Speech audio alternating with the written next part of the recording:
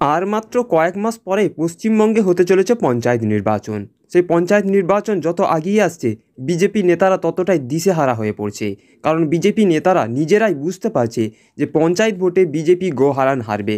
পঞ্চায়েত ভোটে বিজেপি পুরোপুরি ধুয়ে মুছে সাফ হয়ে যাবে পশ্চিমবঙ্গ থেকে। তাই বিজেপি নেতারা দিশেহারা হয়ে বিজেপি নেতারা গণ্ডগোল করে কিছু ভোট নেওয়ার চেষ্টা করছে। যাতে গণ্ডগোল বাদিয়ে ভোট চুরি করে যদি কিছু ভোট পাওয়া যায়, কটা যদি সিট জিততে পারে বিজেপি সেটার চেষ্টা করছিল। কিন্তু সে গুড়ে বালি দিয়ে দিলেন তৃণমূল মুখপাত্র কুণাল ঘোষ। তৃণমূল নেতা কুণাল ঘোষ এমন কড়া পদক্ষেপ নিলেন যাতে বিজেপি পার্টি আর একটিও গণ্ডগোল করতে পারবে না, আর একটিও ভোট পাবে না, আর একটিও ভোট চুরি করতে পারবে না। বিজেপির বিরুদ্ধে কি কড়া পদক্ষেপ নিলেন তৃণমূল নেতা কুণাল ঘোষ? ভিডিওটি ধৈর্য ধরে শেষ পর্যন্ত দেখুন। পাগলের হাতে দেশলাই দিয়েছেন, এবার অশান্তি হবে পঞ্চায়েতে। শুভেন্দু অধিকারীকে নিশানা করে দিলীপ ঘোষের উদ্দেশ্যে মন্তব্য করলেন কুণাল ঘোষ। কুণাল ঘোষ আরও বলেছেন যে, গত পঞ্চায়েত ভোটে, অর্থাৎ দু হাজার আঠারো সালে শুভেন্দু ছিলেন তৃণমূল কংগ্রেসের। শুভেন্দু যে যে জেলার দায়িত্বে ছিলেন, সেখানেই অশান্তি হয়েছে। এবার ঠেলা সামলান।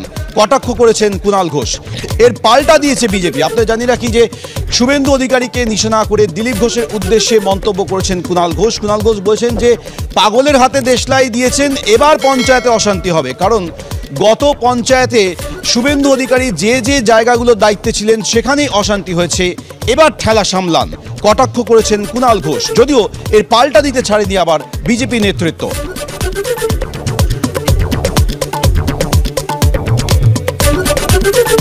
পঞ্চায়েত ভোট যতই এগিয়ে আসছে, ততই বিজেপি এবং তৃণমূল কংগ্রেসের মধ্যে রাজনৈতিক চাপানোতর কুণাল ঘোষ কটাক্ষ করে বলেছেন, গত পঞ্চায়েত ভোটে তৃণমূলে ছিলেন শুভেন্দু অধিকারী। শুভেন্দু যে যে জায়গায় দায়িত্বে ছিলেন, সেখানেই অশান্তি হয়েছে। সেই জেলাগুলিতে অশান্তি হয়েছে। পাগলের হাতে দেশলাই দিয়েছেন।